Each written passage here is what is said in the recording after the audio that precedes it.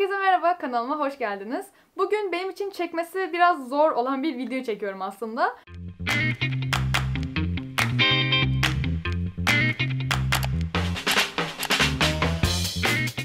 Biliyorsunuz ki kanalımda her zaman böyle başarılı olan yönümle ön plana çıktım ve genellikle başarılarımdan bahsettim. Fakat her insan gibi benim de başarısızlıklarım var. Genel olarak hani kameranın önünde bunlardan çok bahsetmediğim için beni çok başarılı bir insan gibi tanımlıyorsunuz belki de yorumlarda anladığım kadarıyla. E, bu tamamen doğal çünkü hiçbir zaman diğer tarafımı pek yansıtmadım size. Ama bugün dedim ki hani her insan gibi benim de başarısızlıklarım var veya başarıya giden yolda yaşadığım başarısızlıklar var. Ee, onlardan biraz bahsedeyim dedim. Çünkü kimse mükemmel değil, kimse her alanda başarılı olamıyor. Hepimizin tökezlediği, çuvalladığı noktalar oluyor. O yüzden ben de bu şekilde bir video yapmak istedim. Bu video hem benim için de iyi olabilir. Çünkü belki bir sene sonra bu videonun aynısını çekerim.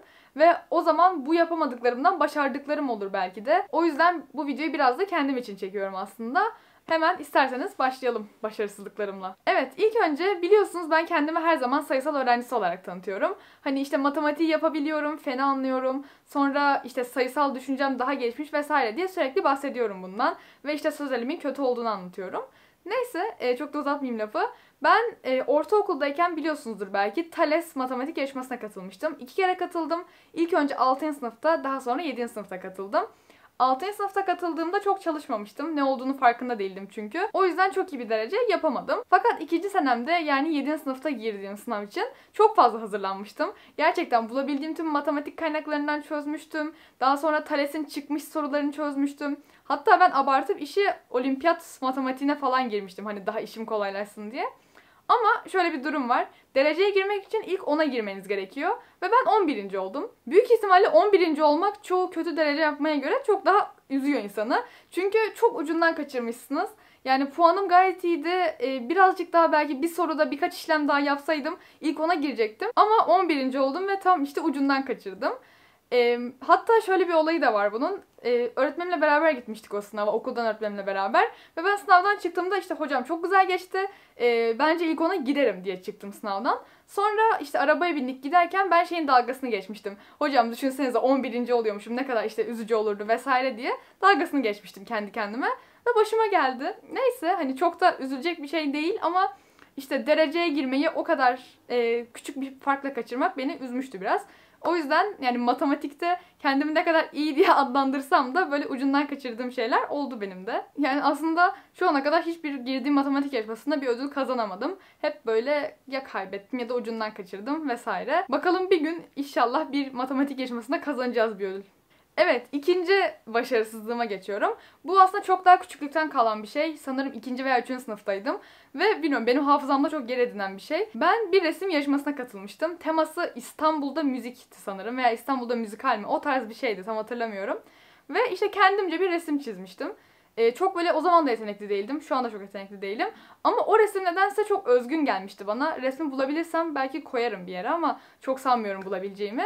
Tam ne çizdim hatırlamıyorum ama e, çok güzel bir resim çizmiştim kendimce. Hani bu tabii ki kazanmak zorundayım açısından değil de sonuçta küçüğüm ve kazanma hayalim var ve kendime inanıyorum. Ama işte kazanamadım. 9-10 yaşındayken böyle bir şeyde kazanamamak biraz üzüyor insanı. Çünkü girdiğim büyük ihtimalle ilk yarışma falandı. Ve işte bir anda böyle nasıl yani yarışmayı kazanamayacak mıyım deyince biraz üzülmüştüm. O da benim için böyle resim herhalde kariyerimin belki de ressam olacaktım eğer kazansaydım. Hani çok böyle yolum, yolum açılacaktı. Ama öyle olmadı. O, onun travması mıdır bilinmez ama şu an resim konusunda çok kötüyüm. Sürekli resim ödevleriyle boğuşuyorum. Öyle yani. Belki de eğer o yarışmayı kazansaydım çok güzel şeyler gelecekti başıma. Belki sayısal alanda değil tamamen sanat alanında yetenekli olacaktım. Ama bilmiyorum artık yani. Yani bu böyle çok basit bir şey ama nedense benim hafızamda çok fazla yer edinen bir şey. Üçüncü başarısızlığıma geçiyorum. Ee, beni hiç böyle spor yaparken büyük ihtimalle görmediniz. Çünkü e, çok fazla spor dalını denedim aslında. Hani dans da ettim. Sonra voleybol, basketbol, e, aikido vesaire çok değişik şeylerle ilgilendim. Ama en uzun süre ilgilendiğim spor voleyboldu. Ama e, onun, onda da çok fazla başarılı olamadım. Yani voleybol oynamayı aslında çok sevmiyordum sanırım. Çünkü daha sonradan basketbola ciddi bir ilgimin olduğunu fark ettim.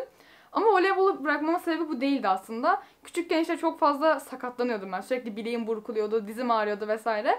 O yüzden voleybolu bırakmak zorunda kaldım. Yani kö hala kötü oynamıyorum voleybolu. Arkadaşlarımla toplanıp oynarken gayet iyi oynuyorum yani. Ama e, voleybol alanında hiç böyle disipline oturtamadım veya hiçbir şekilde bir e, turnuvada bir şeyde bir şey kazanamadım. O yüzden voleybol açısından da bir başarıya ulaşamadığımı söyleyebilirim.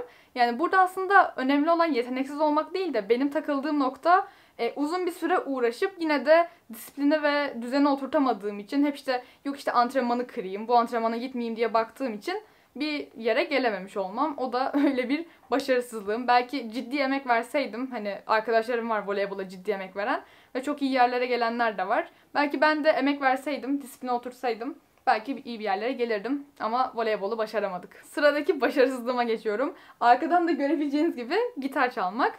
5. sınıftayken ya da 6. sınıftayken gitar çalmaya çok heveslendim. Ve kendi kendime gitar çalabileceğime inandım. Ve bir gitar aldırdım. Sanırım dedem almıştı hediye olarak. Hani evde biraz kendi başıma çalışmayı denedim. Çalmayı denedim. YouTube'dan videolar izledim. Bir tane gito, gitar metodu diye bir kitap aldım. Oradan öğrenmeyi denedim. Ama ne yaparsam yapayım asla güzel sesler çıkaramadım. Veya işte o tın tın diye bir ses çıkıyor mesela ilk çalmaya başladığınızda. Onu geçemedim, ondan öteye geçemedim. Ya da hep dönem dönem işte bir anda çok ilerledim. Sonra tamamen bırakıp gitar bilgim sıfırlandı. Hep o tarz şeyler yaşadım. Ki hiçbir enstrüman çalmayan biri de değilim. Yani şey ritim duygumun olması gerekiyor normalde piyanodan dolayı. Ama nedense gitarı hiçbir zaman başaramadım. Kendisi şu an burada süs olarak duruyor. Odamın dekoruna uyduğu için kimseye vermedim ve işte dedemin de hediyesi olduğu için bir şey yapmak istemedim. O yüzden kendisi burada duruyor. Tek bir teli kopuk. Onu düzeltmeye çalıştım. Onu da başaramadım. Ama belki bir gün lisede hani daha böyle büyüdüğümde tekrar deneyebilirim diye düşünüyorum gitar çalmayı. Bir de telini düzeltmem lazım. Ondan sonra belki de çalarım.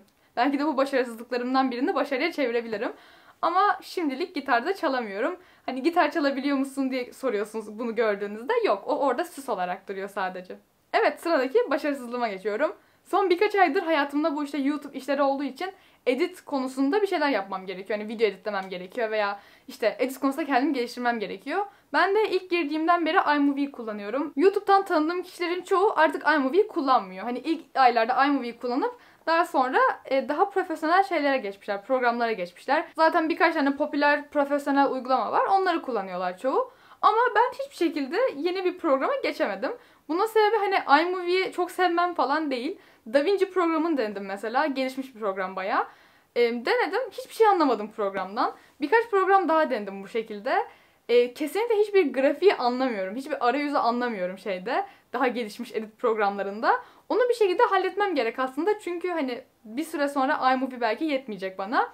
Ama şimdilik dediğim gibi kullanamıyorum başka bir edit programını. Yani bu konuda hiçbir becerim yok. Sadece iMovie basit olduğu için onu kullanabiliyorum. O yüzden profesyonel edit programları kullanma konusunda da biraz başarısız olduğum söylenebilir. Ama onun derslerini almaya çalışacağım. Bazı internet sitelerinde dersleri var. Onları almaya çalışacağım ve bir şekilde öğreneceğim diye umuyorum. Hem de bu edit bilmenin e, katkısı belki bana gelecekte faydalı olabilir. Onu da bilmiyorum ama onu bir şekilde halletmem lazım diye düşünüyorum. Öyle yani. Sıradaki başarısızlığıma geçiyorum. Yine bilgisayar tarzında biraz. Kodlama veya robotik kodlama. E, hiçbir zaman ben bu alanlarda başarılı olamadım. Okulda dersleri vardı. Orada gördüğüm kadarıyla Scratch'ten bir şeyler yapabiliyorum sadece. Fakat onun dışında hiçbir kodlama veya işte kod yazma, robotik kodlama bu alanlarda hiçbir şey bilmiyorum. Bu yeteneksiz olduğum için değil, benim üzerine gitmediğim bir konu. Ee, aslında çok da önemli bir konu. Çağımızın büyük ihtimalle en önemli becerilerinden biri. Ve eğer bu alanda ilgiliyseniz ve yetenekliyseniz de sizi çok iyi bir meslek sahibi yapabilecek bir alan. Fakat bu benim ihmalkarlığımdan dolayı, her zaman ertelememden dolayı bir kodlama cahilliğim var benim. Ee, çevremde çok iyi kod yazan var, web sitesi tasarımı yapan var, oyun tasarlayan var, her şeyi yapan var. Ama ben yapamıyorum hiçbir şey. Hiçbir programlama dili bilmiyorum. O yüzden e, bu biraz sıkıntı çıkarıyor olabilir bana. E, bununla ilgili bir şeyler yapmam gerekiyor. Çünkü bu başarısızlığım pek de böyle göz ardı edilecek bir şey değil eğer gelecekte iyi bir yere gelmek istiyorsam hani kodlama artık temel becerilerden olması lazım gibi. O yüzden bunun üzerinde uğraşacağım. İnternetten birkaç e, online kurs buldum. Onlarla uğraşacağım. Bir de bu konuda iyi olan arkadaşlarımı biraz zorlayacağım bana öğretmeleri için. Ama halledeceğim bir şekilde en azından lise sona kadar. Evet sıradaki başarısızlığıma geçiyorum. Altıncı mı oldu, yedinci mi oldu? Ee, bir zamanlar yaklaşık bir sene, bir sene değildir, iki sene önce falan bir işte online bir uygulama üzerinden şey öğrenmeye çalışmıştım. Almanca öğrenmeye çalışmıştım. Ve başaramadım. Niye başaramadım? Çünkü yine ben kendimi disipline edemedim. Uygulamanın gönderdiği bütün bildirimleri e, yukarı kaydırdım ve bir daha iç, içine girmedim. Sonra işte bir gün oturup işte iki saat Almanca çalışıp ertesi gün veya beş gün boyunca hiç ders çalışmadım. O yüzden Almancayı da başaramadım. Aslında ailemde Almanca bilenler de var ama nedense uğraşmadım yani ben. Ee, aslında dil bilmeyi de seviyorum. Hani farklı diller öğrenmeyi seviyorum. Şu an e, İngilizce ve Fransızcanın yanında Endonezce dersi alıyorum mesela. İlginç bir kültür olduğu için.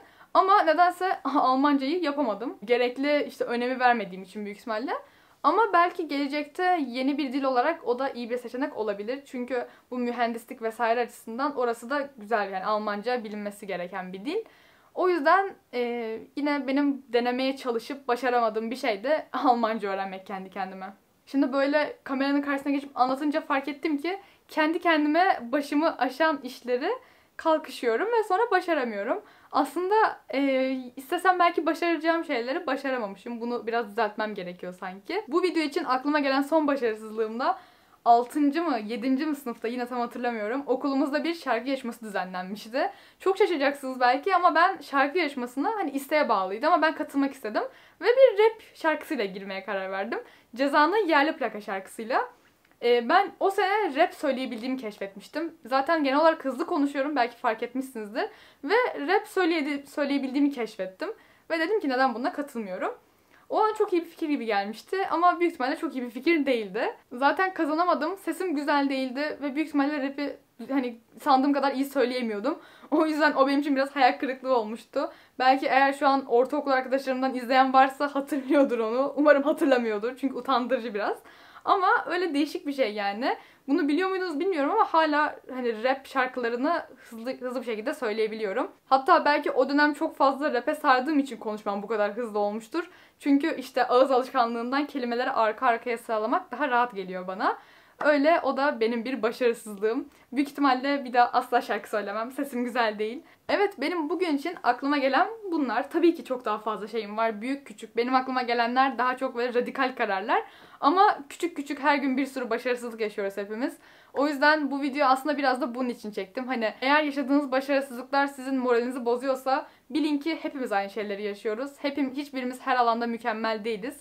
Hani bu videoyu ben çektim ama eminim beni izleyenler arasında da hepiniz başarısızlıklar yaşamışsınızdır. Çok başarılı olduğunuz alanlar da vardır eminim ki. Ama herkes her alanda yetenekli olamıyor maalesef. Bunu da bilmek gerekiyor. Bir de umarım eğer seneye de bu videoyu çekersem bu seneki başarısızlıklarımın arasından bir şeyleri eksiltmiş olurum diye umuyorum. Bakalım onu da sizinle paylaşırım. Umarım videoyu beğenmişsinizdir. Beğendiyseniz beğen butonuna basmayı ve abone olmayı lütfen unutmayın. İsterseniz bu tarz şeylerinizi yorumlara yazabilirsiniz. Emin olun hepsini okuyor olacağım. O zaman kapanışa geldik. Bir sonraki videolarda görüşmek üzere. Hoşçakalın.